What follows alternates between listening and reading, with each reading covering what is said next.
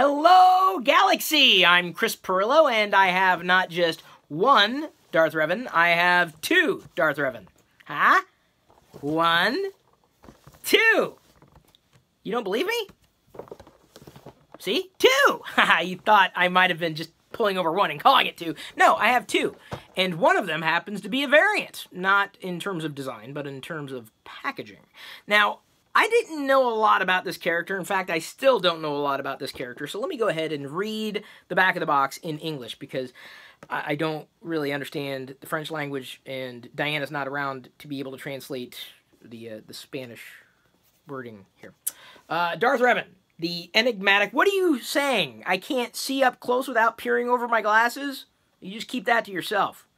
I'm gonna keep reading this here. The enigmatic former hero of the Jedi Civil War, Darth Revan, continued to play a pivotal role in the ongoing war between the Sith Empire and the Galactic Republic. Now, I didn't know anything about this character outright uh, when I got the Lego minifigure years ago, and I opened it. I removed it from the polybag, which was kind of a regret because those are worth a lot inside the polybag. So over the past day or two, I picked up a local polybag of Darth Revan, and it was intact at a pretty good price uh, compared to the going rate. The one figure I wish I would have picked up when it was available was the three and three quarter inch scale Darth Revan. That's the one I want. This is the six inch version uh, from the Black Series, uh, number 34 in the, the current packaging uh, lineup. And uh, I do have one that is pretty much going to stay in the box. Uh, I'm probably going to be ultimately removing both of these, but you can see uh, the difference outright in when I had referred to the packaging uh, you know, one has a cape. This is the newer one here. Uh, the cape is tucked behind the character versus this one, the original release in that particular wave. Um, I did mention, as soon as I found that this was available, uh, I, I, mentioned the link to where you get one at a normal rate rather than paying an outrageous rate. Uh, I got it for 20 bucks. This one right here. This one was included in the wave, so it was uh, the wave case that I bought around uh, the last uh, holiday season for Life Day. Um, but you know, I, I I, I, I probably will not hold on to this Darth Revan packaging variant because I'm not really interested in packaging variants as much, and plus the box is not in pristine condition. So, um, yes, if you do know where I can find either a loose or a carded three and three quarter inch Darth Revan that's still in good shape, uh, you let me know.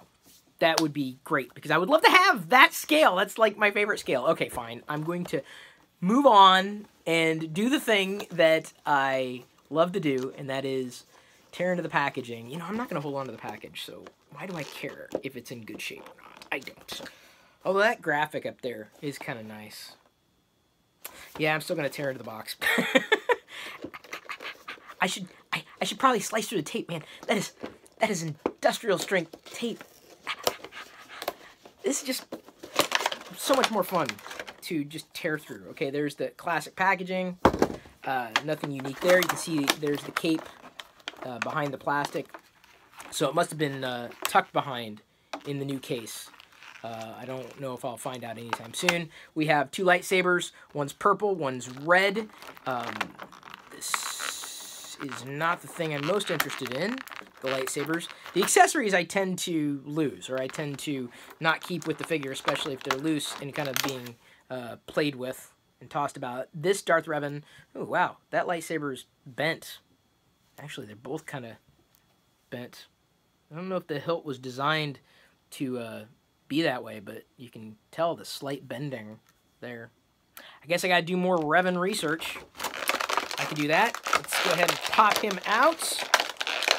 I don't think there's anything that's holding him back apart from the cape behind the plastic. Oh, wait, hang on.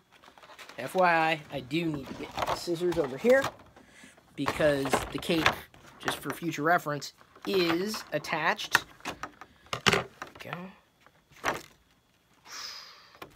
I did not tear a hole in the cape.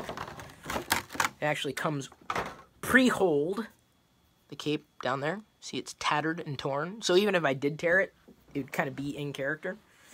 Yeah, I, I, I think... Uh, I think this is easily going to become one of my favorites. Uh, not because I knew a lot about the character outright, but because specifically the way it's designed. Um, though I'm not really a uh, uh, someone who's into Legends all that much, Uh, some people are, and I, you know, don't want to take away from that. It's just that uh, to me, uh, I tend to stick to what is canon. When it comes to figures, though, I, I don't care as much, believe it or not. I, I, I'd easily collect a, Legacy or a, a SWEU Star Wars figure.